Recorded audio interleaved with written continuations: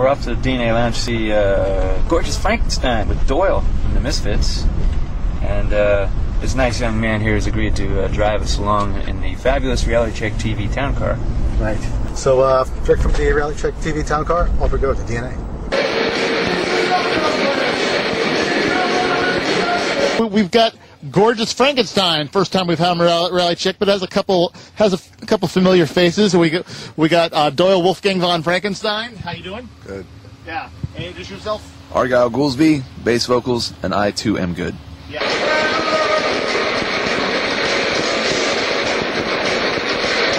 So Doyle, gi- give, gi- give, me give me the rundown. Uh, you're no longer with the Misfits. Correct. Yeah, yeah, yeah, yeah. Because I, I, interviewed uh, Jared about two years ago. He said you'd be coming back. Everything was all good and all that. But uh, um, what what what made you want to uh, depart that and do this project? Everything. I don't know. Everything. Yeah. Yeah, yeah. There's not not not just one main, main specific thing, or. Uh huh.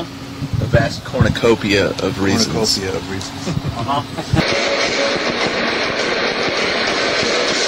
How is this band uh, different from the Misfits? I don't know. I don't know. What kind of question is that? Yeah, well, well, I'm, I, I- I'd like to know. I mean, there, there, there- there's a horror theme, and, and you, you still got your tra- trade trademark trademark look, but but but it's it's kind of, it's kind of, kind of, obviously uh, your your own thing you're doing. I mean, how how would, how would you describe it? Different than the Misfits. Yeah. And how is it different from the Misfits? I don't know, It man. sounds more. There, it's it's more metal. I do believe.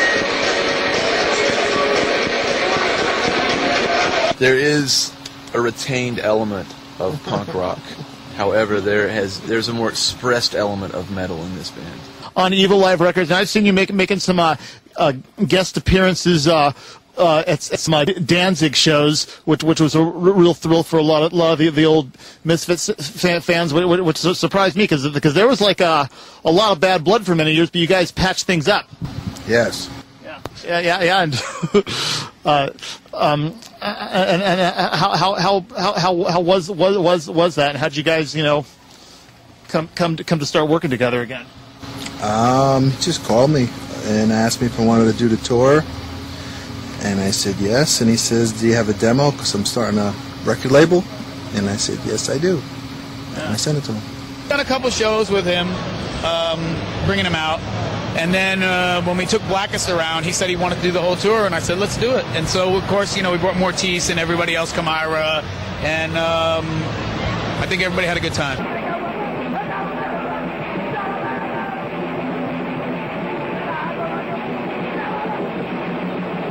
Uh, yeah, I know. He married gorgeous Yeah, I, George. mi- I miss him too. Yes, he did, and uh, you know he's, he's settling in with that. So that was a big transition for him, and um, you know I wish him well. And after 25 years, if you need some time off, you should be able to take it. So, so God bless Doyle. I mean, he'll be back, and uh, I look forward to that. uh, gorgeous George, and uh, you guys met when you had your little stint with World Class Wrestling, wasn't it?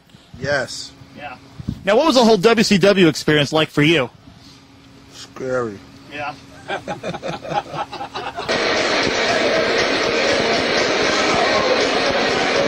It's a show. It's a rock show. You know, we don't want people to come here and feel like they're just going to someone's garage or basement to watch a show. Not that there's anything wrong with that, but you know, we're performers and we want to give people that. So, you know, we've got scary guitars and we've got, you know, wolves howling in and out of the out of the set list, courtesy of Dr. Chud's ADAT machine. And um, I don't know. I mean, it's just a good show.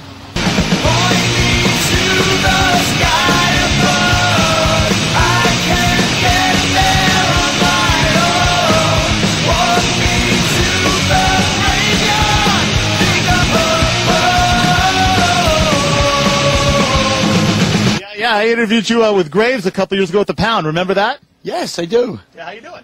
Hey, good. How you doing? Yeah, yeah. Good, good, good, to- good to see, see, see you. So, so like, uh, uh I, I mean, you, yeah.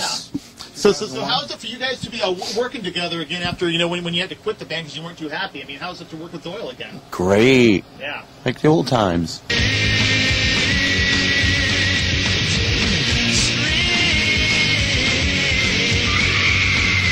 He suggested I go out with him and his band, Dr. Chud's X Ward, and play bass. so I filled in on a tour, and after the end of that tour, when I came home, he called me and said, you know, Doyle has a band and he's looking for a bass player and a singer, and you should audition. And um, I sent a tape in to Doyle, and I got a call and said, you know, you're the guy if you want to come out here. And uh, I went out there, and we met up, and here I am.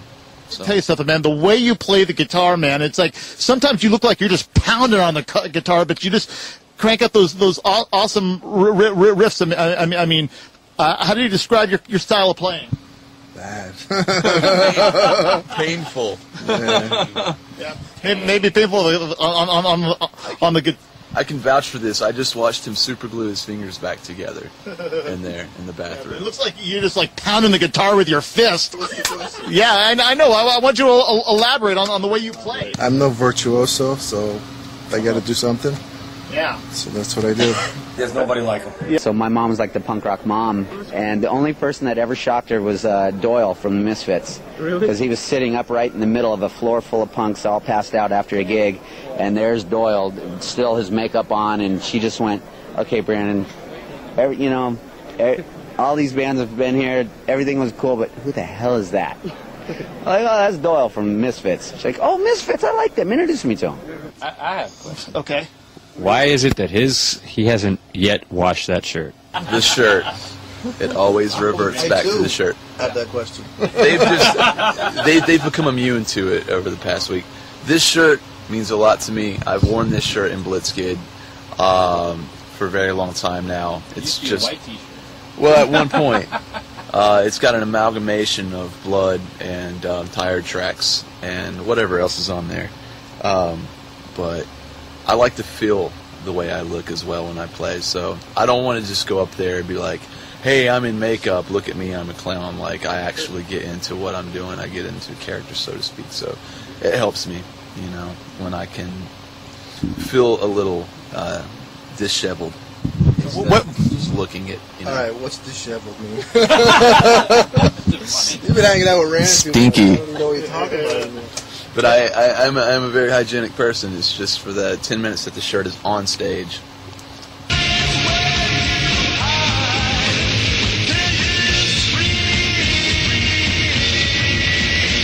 Future going to hold for Gorgeous Frankenstein. More songs, more records. Any final words you want to give out there? Long live the horror. You got a fuzz face. fuzz face. All right.